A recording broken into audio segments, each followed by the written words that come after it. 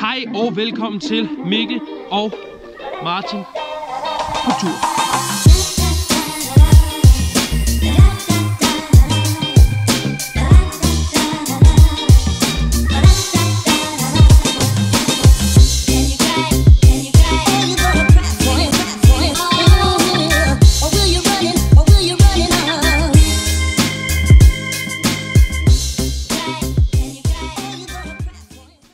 I dag, der har vi pakket fluestængerne. Jeg har en fluestang med, Martin har en fluestang med, og vi skal ind i Stor Dunsedam og prøve at fange nogle geder på flue.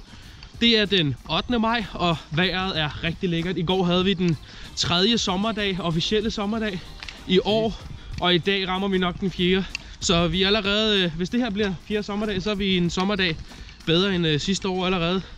Inden vi overhovedet har ramt rigtig sommer, sommervejr. Så Samer. sommervejr. Samer. Så øh, i dag, det bliver rigtig spændende at se, om vi kan få en gede på fluestang. Og det kunne være rigtig spændende at se, om der øh, var nogen, der ville tage noget, øh, noget popper på Ja, overfladen. popper, helt klart. Det, øh, det håber vi.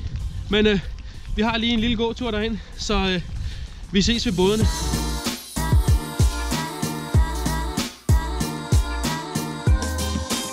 Vi er landet her ved Dunsedam, Store Dunsedam.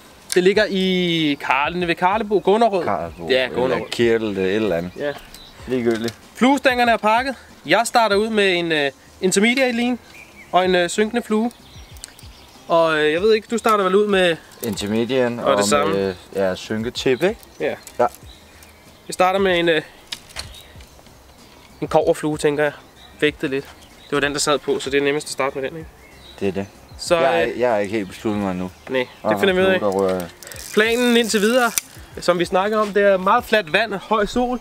Så øh, vi starter faktisk bare med at fiske fra en ende af, lige så stille langs kanten, og så ind i nogle vier, og så ser vi, hvad der sker. Øhm, jeg håber, jeg håber, det giver fisk i dag. Det skal give fisk. 100. I dag, vi kan ikke have en nultur, så øh, Nej. følg med. Jeg tror, det bliver rigtig spændende. Yeah. Den var lige... Ja, men den kan være, den er gået ned i. Vi, vi må lige tage det på. Du havde et ordentligt hug, mand. Lige helt oppe ved overfladen, mand. Smask! Jeg kunne høre det. Det var lige bag ved mig. Det bliver spændende at se, om den er gået i åkanden, eller hvad den er. Nå, den smuttede desværre. Den satte sig. Ja. Sådan kan det gå. Men det var et øh, solidt øh, hug i overfladen. Godt nok ikke på popper, men øh, den, den var lige landet næsten, var den ikke? Jo, jo, Ja. jo. Lige ramt over. Fedt, mand. Vi har ikke været i gang med 5 5 minutter eller sådan noget. Broen er lige derovre, så. Yes. Skide godt, Martin. Jeg vil ikke have den store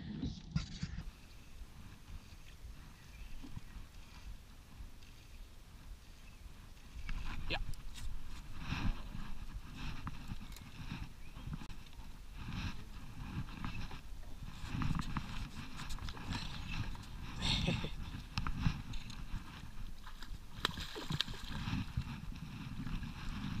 Pike on fly. Det er ikke noget monster. Men den, den hang øh, linen på åkanden. Den hang lige på åkanden. Så så jeg linen, den lige blev, øh, blev strammet ud.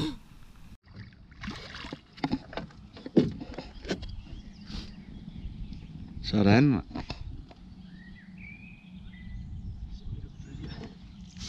Lille, lille bitte eksemplar. Altså, men øh, Nu skal jeg lige... Nå, den tog altså afsted her. Det var sgu... Øh, det er det, vi kom for. Og man kan sige, nej, det er ikke noget monster. Men øh, indimellem åkanderne på fluestang, der er det her fiskeri, det er øh, godt værd. Altså godt værdsfiskeri, det, kan, det, kan, det slår ikke noget andet. Altså, jeg synes simpelthen, det er for fedt. Er du klar til at sige farvel? Sådan, mand.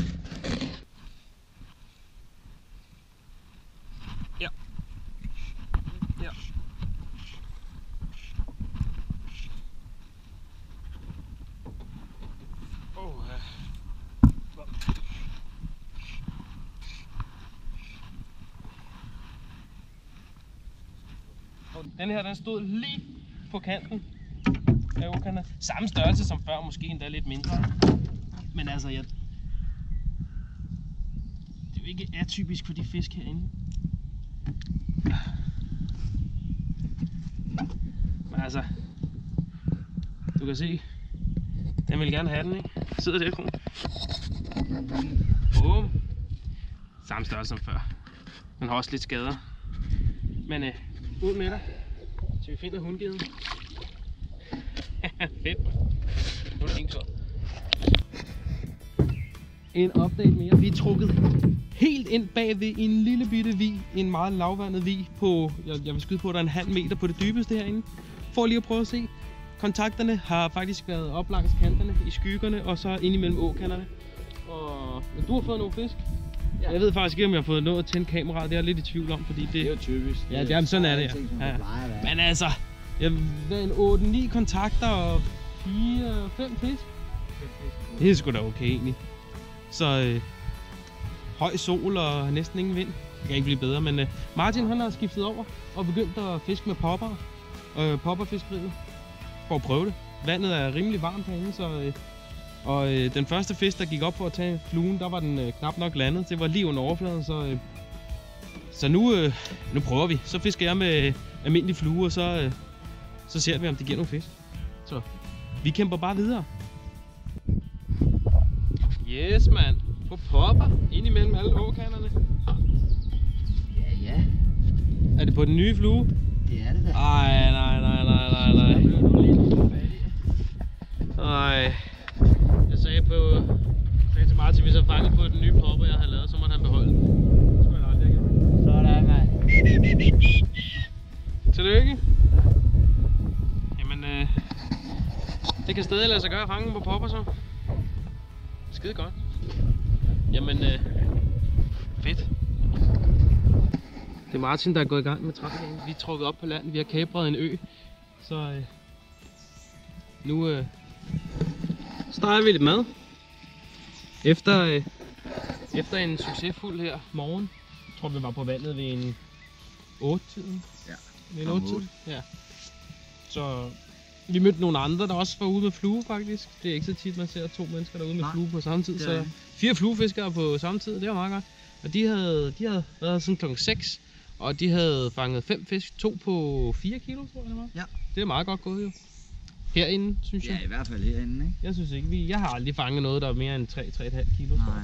Så øh, Ja, jeg mistede et par store, ikke? ja, det, vi har set store fisk, men det er ikke sådan, at man hiver store fisk op herindefra sådan i er tid og utid. Men, øh, men det er super fed sø at, øh, at fiske, øh, at fiske med flue i, ikke? Ind imellem åkanderne. Og det er sådan nu her, lige inden de når at komme helt op og dække det hele, det faktisk er, er til at, at finde nogle, øh, nogle øh, retninger, man kan kaste ind imellem åkanderne. Så det er faktisk øh, det er en succes indtil videre.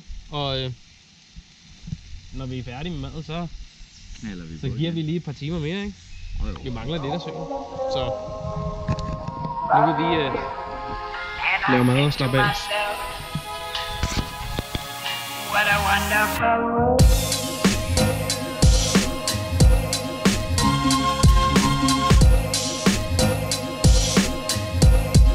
What a wonderful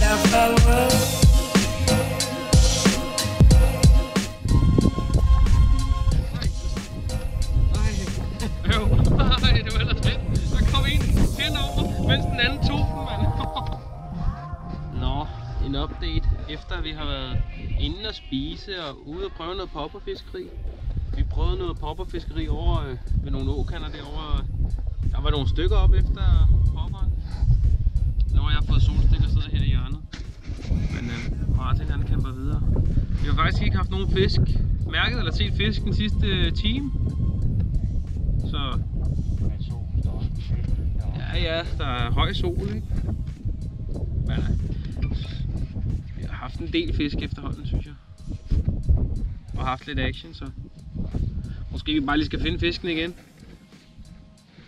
Og så øh, begynder det at hugge igen. Hvem ved? Åh, oh. Nå ja. Jeg har lige stået og brokket mig over vinden. Og Mikkel har vi gerne hjem.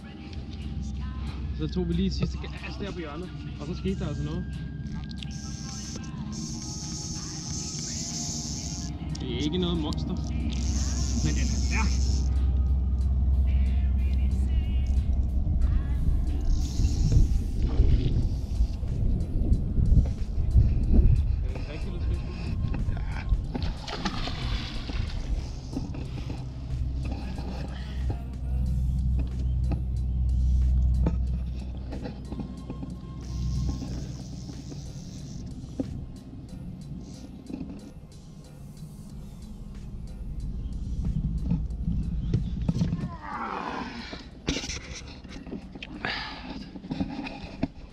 Dunse, mand, på fluen. Boom. Det er det, vi kom for.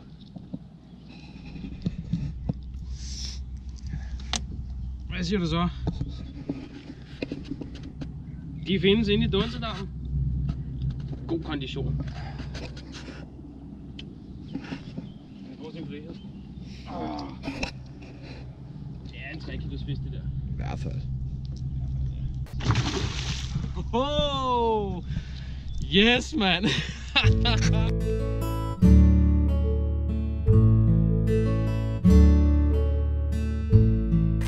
en dag på Dunsedammen. Ja. Hvor har det været? Oh, det har været en vild dag. Ja, det er crazy. Det har været øh, bedre end forventet.